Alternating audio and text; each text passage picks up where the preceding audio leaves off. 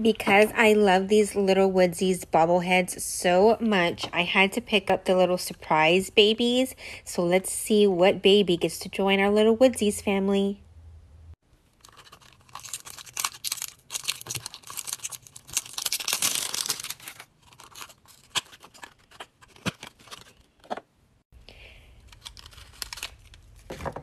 Okay, we've got the cute little crib that the baby goes in.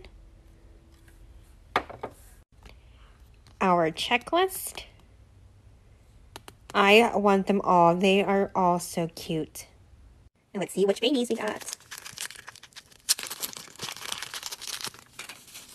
Oh my goodness. Looks like we got Ace the rabbit. He's got his cute little bib on. And then it also comes with a cute little baby bottle. All right, little baby, you sleep tight.